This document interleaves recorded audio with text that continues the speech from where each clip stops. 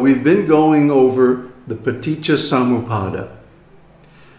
First, we described the backward direction, how it was discovered by Vipassi Buddha. And then we went over very briefly the descending phase in the forward direction, forward mode.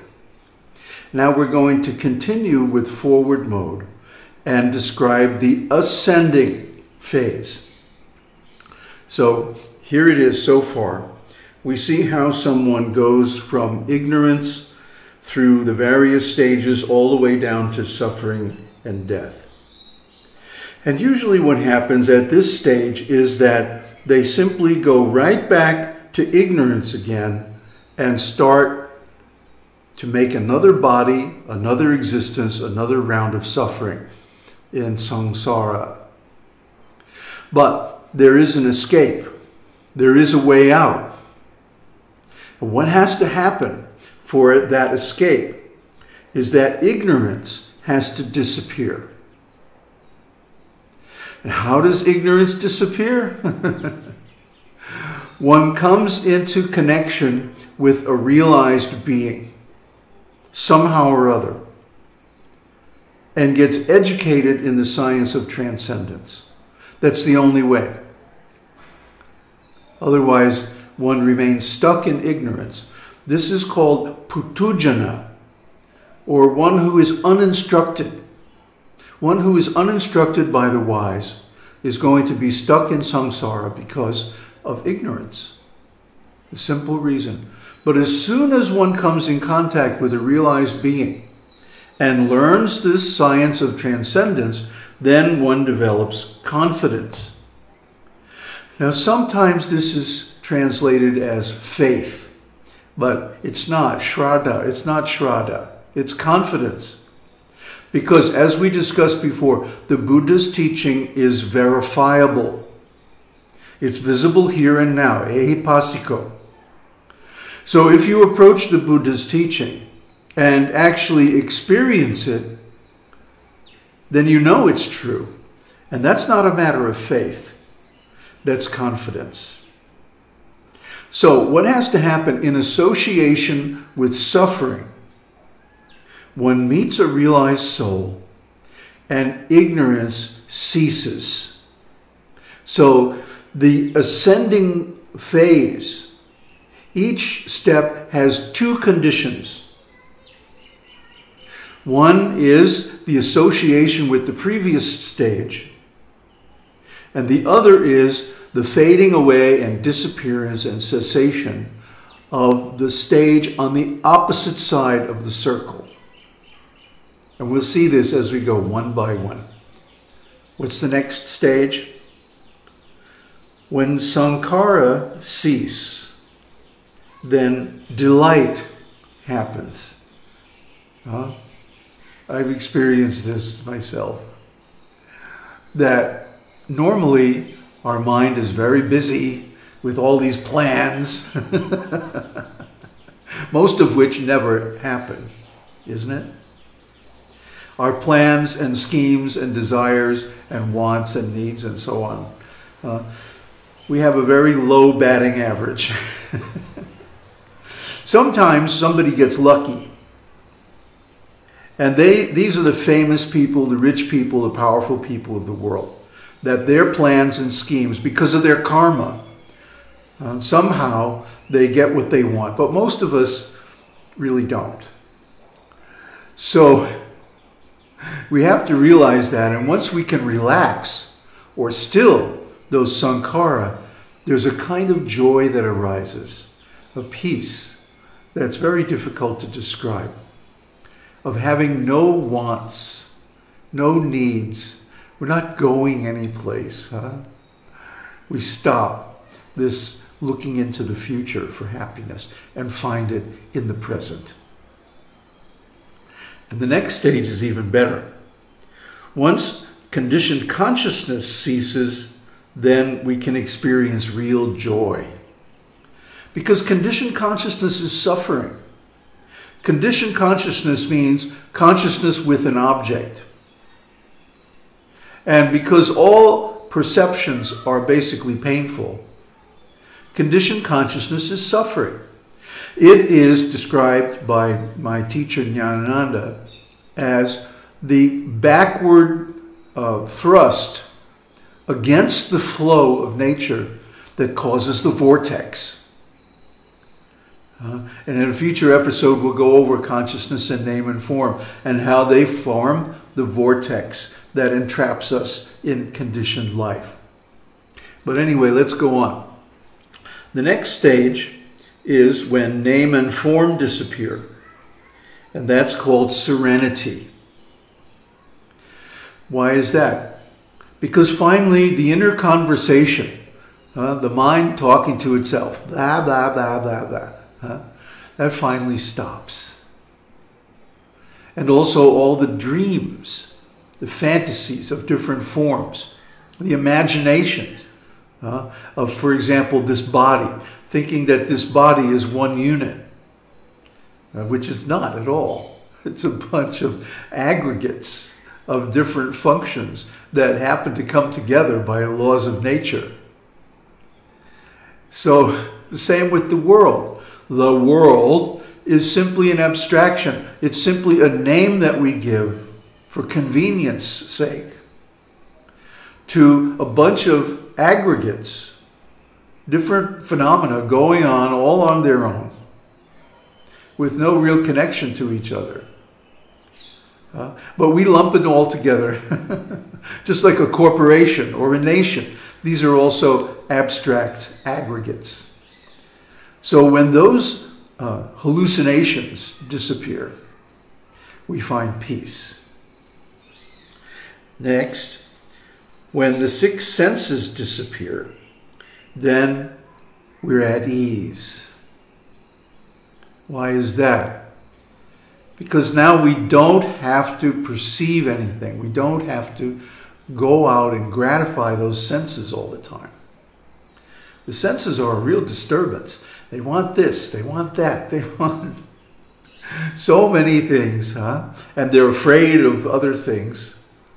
So they really boss us around quite a bit.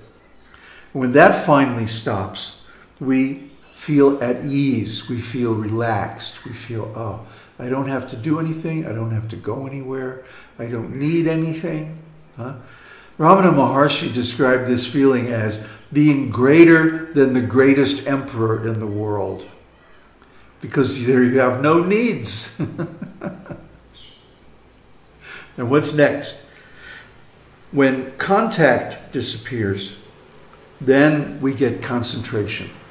Now, this is also described in the yoga system when the senses are withdrawn from their objects, pratyahara. But nobody teaches this anymore as part of yoga. Huh? It's become unknown, very unpopular. Why? Most people can't do it. That's why. And the reason they can't do it is that they have not completed the previous stages huh? the disappearance of ignorance, of sankhara, of consciousness, name, and form. So, because of that, the senses are always crying out to contact, and they can't stop them. They become the slave of the senses. So, of course, you can't concentrate when that's going on. The senses are demanding different contacts all the time. But once the needs that drive those senses are removed, then they can simply relax. And this is the most wonderful, peaceful feeling. Next, feeling has to disappear, and then knowledge can come. Why we don't have knowledge ordinarily is that we have so many feelings about everything. I like this. I don't like that. I don't care about this and that. Huh? These are feelings. So when these judgments disappear, which are all related to our desires, right? I desire this. So when this happens, then I feel good. Or if this doesn't happen, I feel bad. or something that I don't desire, if that happens, eh, meh. but to have all these feelings is a constant disturbance to the mind. So, how can you have knowledge when you have this mm, prejudiced point of view? That what I feel about everything is dependent on my desires, whether they satisfy my desires or not. So, real concentration, rock solid, uh, unshakable, unstirrable consciousness. Can only happen when we don't have all these feelings about everything. Next, craving has to disappear. And when craving disappears, we get disenchantment. That, well, what is craving, first of all? Craving is a habit brought on by many contacts of the senses. Huh? I like the color blue, let's say. So I have blue shirts with blue pants and I paint my room blue. Everything is blue, right? I love it. But then I lose my liking, my feeling about blue. Blue is just another color. So I become disenchanted. I'm no longer in love with blue. it's just another color on the spectrum, ho ho. And I become disenchanted. And this is a necessary stage because the next stage, when grasping disappears, is detachment. Grasping is the tendency of the mind to cling. Uh, the mind based on feelings, likes certain things and doesn't like other things. So it clings to the things that it likes and it tries to reject the things that it doesn't like. But what does this have to do with us, actually? Not really a whole lot. It's, again, the action of the senses. So as soon as we transcend those senses, as soon as we withdraw from the senses. As soon as our attachment to the senses disappears, we can let go of clinging. Because after all, as Ramana Maharshi pointed out, our karma is already bringing us all that we need to survive, all that we need to live. So we don't have to cling to the things we've got. Huh? Because new stuff is always coming according to our karma. So if we just let our karma do its job, then we have no worries. We can let go of all our clinging, and especially clinging to the body, clinging to existence itself. Because these are the things that get us into trouble.